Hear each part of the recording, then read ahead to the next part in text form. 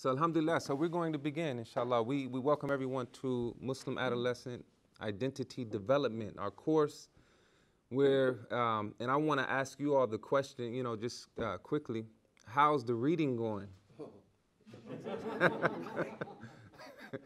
some, some of this a little dense. Okay.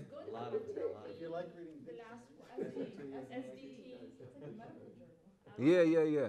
Self determination theory, huh? Yeah, okay. Yeah.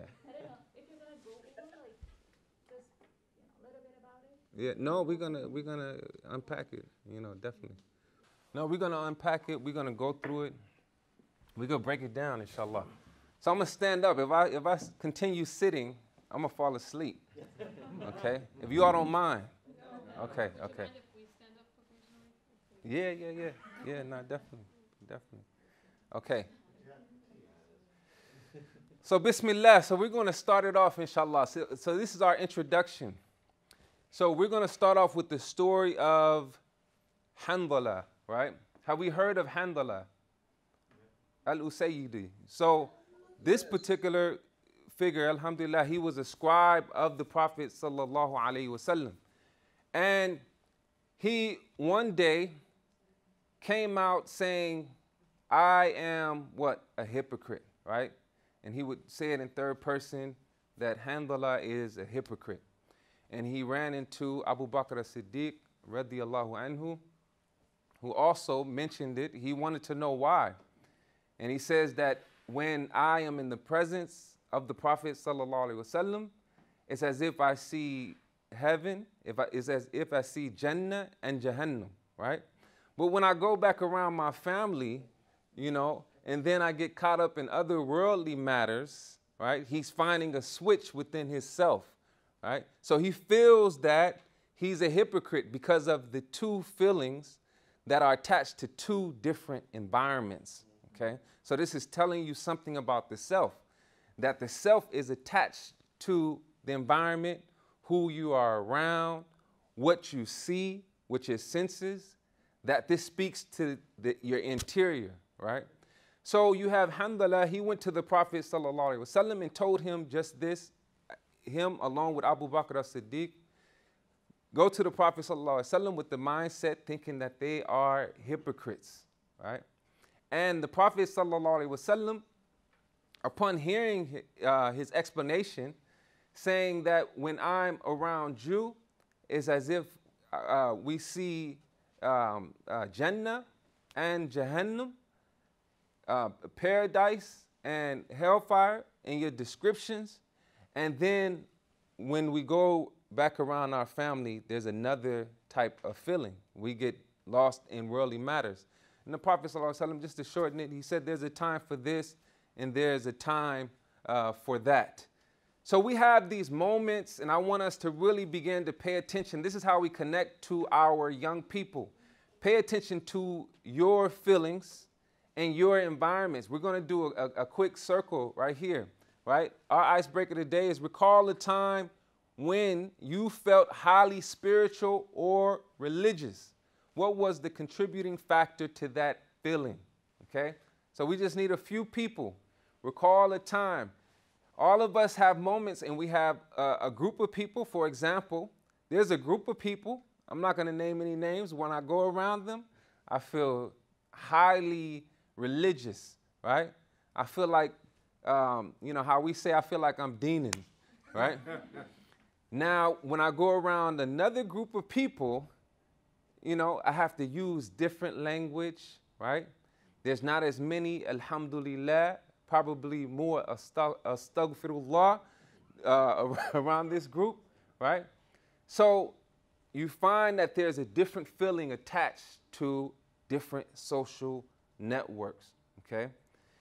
So let us share. Recall a time when you felt highly spiritual or religious. What was the contributing factor to that feeling? Who's first? We can't get everybody on this one. Um, when I felt like I had properly discovered Islam, mm. and I was high on the fact that like this is the best thing since sliced bread, mm. or like even better than that. Mm. Then you met the Muslims. No. no.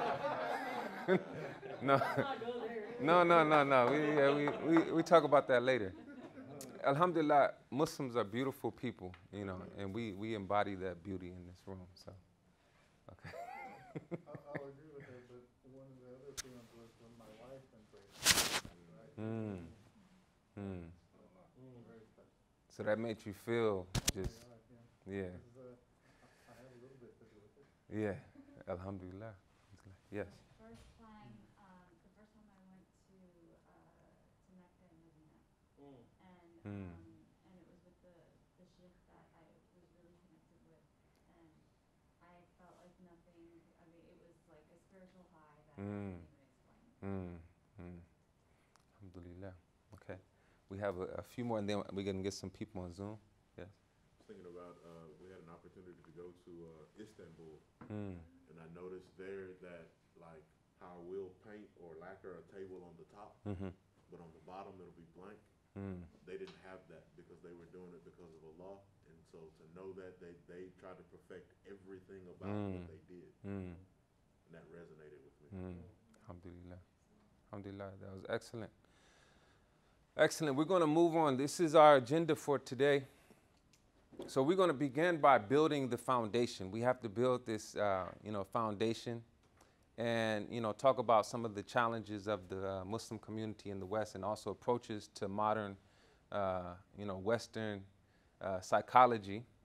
Um, and we're we're going. This is very important that we start off right here, and then we're going to move on to um, Islamic psychology. Is there an Islamic psychology, or is it Islam and psychology? The nafs, we're going to visit. What is the nafs? And the psychological self. Okay? So it's important that we, you know, we're going to do some scaffolding here.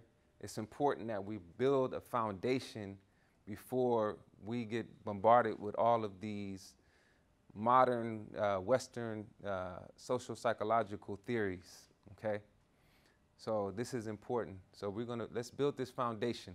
Okay. So Will Yeah. provide these as notes, or do we need to take them? I'm, I'll, I'll provide this. This is yours. You know, oh. yeah. But take notes anyway. You know, you know, it, it'll be good. You know, you don't want to just rely on this stuff right here. So, the Islamization approaches to modern Western psychology. Okay, so what we are delving in uh, with the theories that we're studying is this is interdisciplinary. So we are putting in conversation, uh, in particular, sociology and also social psychology. And I'll tell you all my journey uh, in you know how I ended up you know um, you know uh, going into those two fields. Now, when we think about uh, modern Western psychology, um, the Muslims, Alhamdulillah, um, they have been for the last four decades trying to get a grasp on really developing or uh, the Islamization of modern Western uh, psychology. So you have these three approaches, okay? So one is the Islamic filter approach, okay? Islamic filter approach. Everyone say the Islamic filter approach. Okay, so Islamic scholarship that analyzes modern Western psychology through a critical Islamic lens, while paradoxically still utilizing the Western psychological framework. Okay, and then we have the Islamic psychology approach. Everyone say the Islamic psychology approach.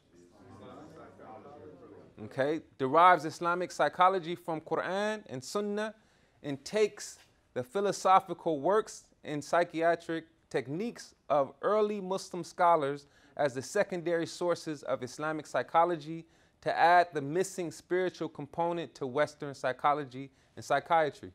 Okay? And then we have the comparison approach. Everybody say the comparison approach.